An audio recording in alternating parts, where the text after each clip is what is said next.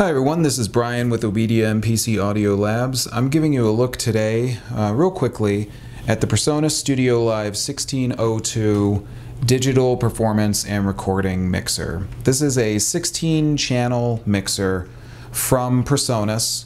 Uh, very well priced mixer and an awesome way to get into a ton of I.O. and a very small and sleek device that's also going to be really useful for live mixing. So not only is this going to be useful in the studio, but also in a live mix environment. And that's because of the digital effects that it has on board, um, including reverbs, delays, and many other effects, uh, uh, compressors, equalization, all on each channel strip that you can use live in the mix. So this is an awesome mixer to use uh, in a uh, live environment, but it's also going to give you a lot for working in the studio. We'll just take a quick look at it here so you guys can see what it is all about. Now it's a, a 16 channel Firewire mixer, connects to your computer through Firewire. Uh, however, you can also use this in conjunction with Thunderbolt, and I'm going to talk about that in just a little bit here.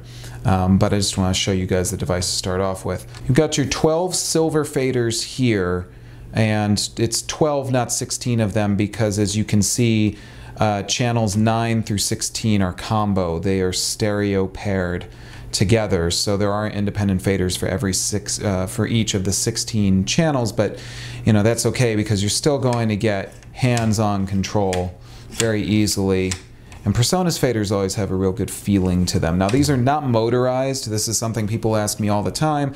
Are the faders motorized? They are not motorized. Um, they will not move with your mix or anything like that. Just keep that in mind. It's not really a big deal, but something to keep in mind. You have four auxes, which you can use for making aux sends and aux mixes on the board, and then you have a main fader out. Uh, we'll power the unit on here. Now we're not connecting it to a computer right now, but the cool thing about the 1602 and the Studio Live series of mixers from PreSonus is that they don't have to connect to a computer.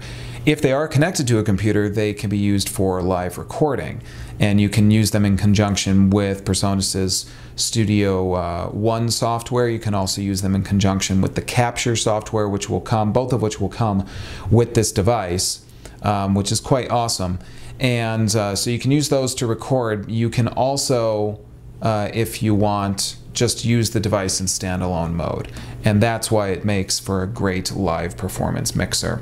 And we'll just talk about the usage of it just a little bit here. We don't need to go too in depth because there is a lot to be seen on this device.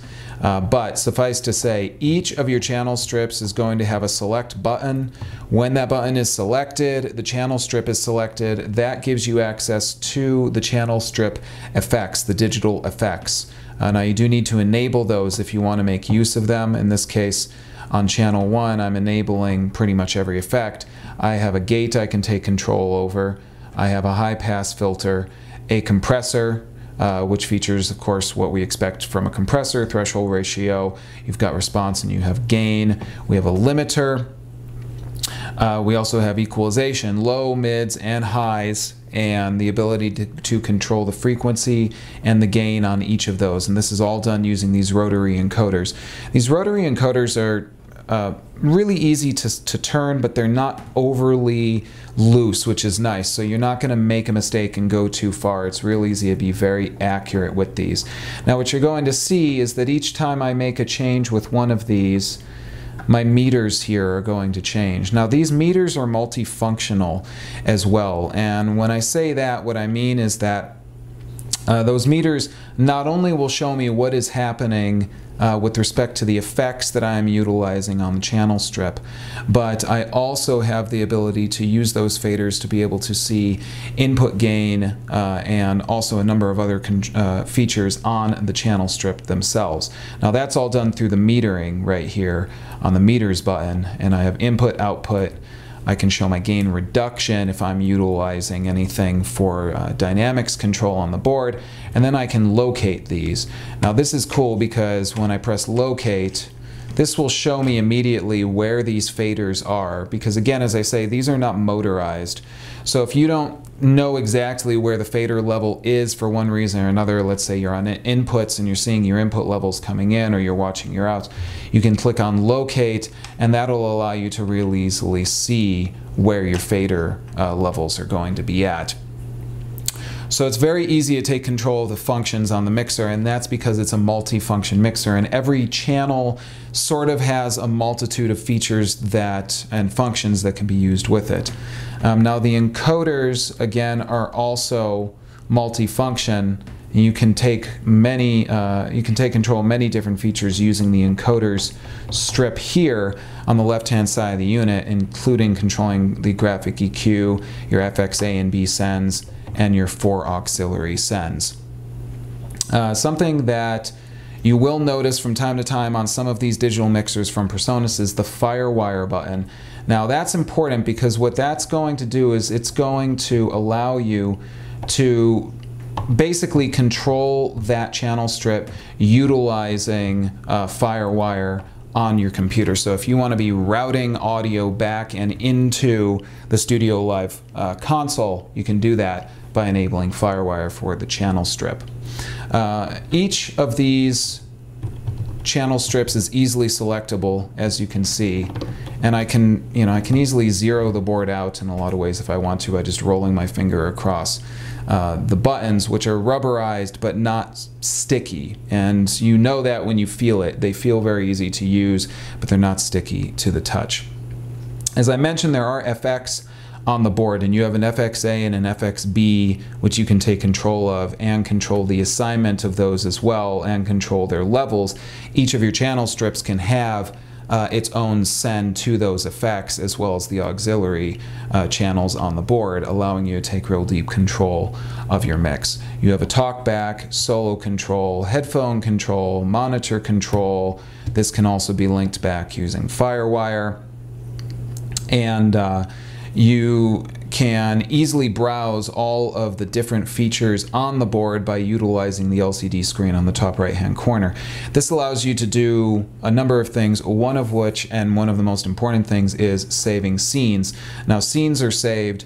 Uh, on the screen right here, allowing you to not only name a scene, but also uh, to save everything that has happened on the scene as your board is when you're using it. So this is cool because if you are a front of house engineer and you are mixing 10 bands in one night, you can dial in a mix for each of those bands and then simply recall that scene and you don't have to go back and move faders and try and remember where things were, take a picture of your mixer or anything. You don't have to do any of that because it'll be saved right, at, right uh, in the memory of the board. You can also download the memory of the board onto your computer and port that to other devices. Great way to back up your settings, uh, making it really easy to use this board um, in a multitude of situations. So this screen is going to allow you to do a lot of different things, such as browse through effects, browse scenes, do system settings, store uh, settings that you make on the system, and also recall those at the same time. Uh, super easy to use, all done using the rotary encoder, the previous and next buttons, and also the page up and page down buttons, real easy to use. You have a lamp plug-in on the right hand corner, and then on the top of each channel strip here, you have your gain uh, dials. And that, of course, is going to allow you to adjust the gain coming uh, into the device. Let's flip it around and just look at the I.O. real quick. So the back of the board, of course, is where all of your input and output is going to happen. Uh, it's very straightforward. You have your talkback mic section, and then you have each of your uh, channel strips. And as I say, 9 through 16 are combo. And so they are stereo input pairs uh, for standard quarter inch. They also have just single mono XLR ins and in the cases of some you're also going to find RCA. The rest of your channel strips are going to give you XLR as well as quarter in. You have your auxiliary outputs allowing you to control aux outputs, maybe for control uh, controlling and driving studio uh, or stage wedges, things along those lines, other monitor mixes and etc. You have a monitor output, your main output. Uh, for quarter inch, you also have a main output coming out as uh, XLR with a gain control. You have a mono output also with a gain control, MIDI in and out, which is very cool because uh, not all of the Studio Live devices have MIDI on them. I have a 2442. It does not have MIDI on it. It's not a big deal, but it's very cool to be able to drive MIDI as well through the device. Two FireWire ports. And the reason for two FireWire ports is that yes, you can connect multiple Studio Live boards together and basically stack them in order to get more input and output. Uh, and that's pretty easy to do utilizing PreSonus' software. You can see a lot of I.O. happening here, but very clean straightforward, easy to use, easy to understand.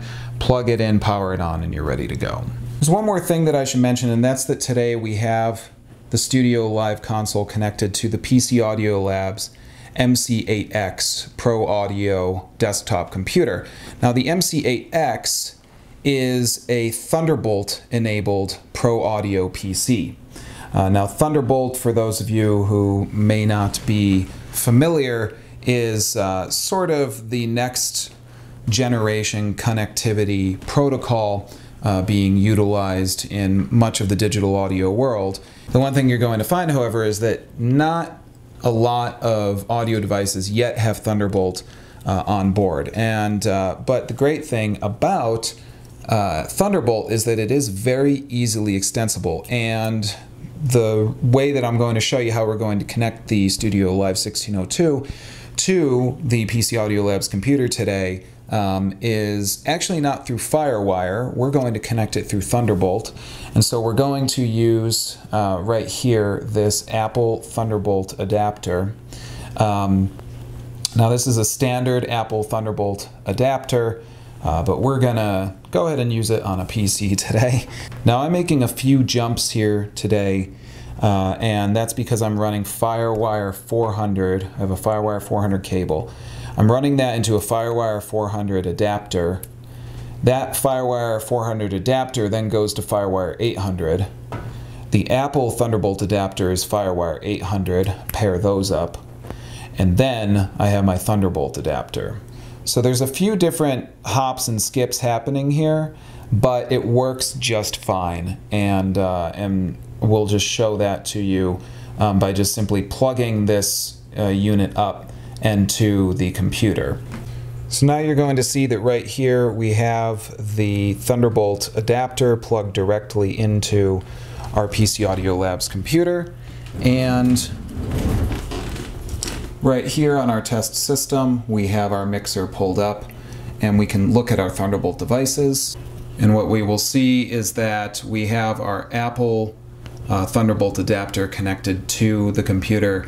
Now in this case, the Intel Thunderbolt software is telling us that it's not an approved adapter, but that's fine. This works just fine, and this is allowing us to connect our Studio Live console directly to our PC Audio Labs computer using Thunderbolt, even though we don't have FireWire in this uh, specific computer. So there you have it guys. That is the PreSonus Studio Live 1602 digital performance and recording mixer. And uh, I've also just shown you a little bit there obviously of how you can use this easily with a Thunderbolt enabled computer uh, using the PC Audio Labs MC8X Thunderbolt Pro Audio computer. So if you don't have FireWire in your computer, maybe you're moving away from FireWire, but you're going to use an awesome device like the 1602, don't fret because you can still very easily use it uh, with new offerings from uh, computer makers and PC makers. So a lot of flexibility with this device, very easy to use because it is also quite light and very easy to move around. Um, so if you are looking for a great new mixer for studio and for stage. I think the Studio Live 1602 is a great way to go. Now, of course, if you guys have questions about the Studio Live 1602, if you want to get to know it more in depth, give us a call here at Obedia uh, and we will help you one-on-one -on -one uh, through remote desktop and over the phone to get to know your new hardware and also the software that comes with it, because that's what we do best here at Obedia. Now, as always, guys, I'm Brian with Obedia and PC Audio Labs. I want to thank you for tuning in today, and until next time, happy music making to you, and take care. Today's pro audio hardware and software can give you excellent results if you know how to use it properly. Obedia can help you to get the most out of your pro audio hardware and software. Why spend your time scouring the internet for answers or digging through manuals? With one quick call to an Obedia technician, you'll be connected with someone who can give you the answers that you need in real time via phone and remote desktop. Obedia technicians are trained in all major digital audio applications on Mac, PC, iOS, and Android devices. Obedia member subscriptions are cost effective, give you great member benefits, and Obedia is here seven days a week to help you get the most out of your digital audio hardware and software. No matter what your level of expertise, Obedia can help you to stay focused and productive and get your music back on track. Start taming your technology today with Obedia.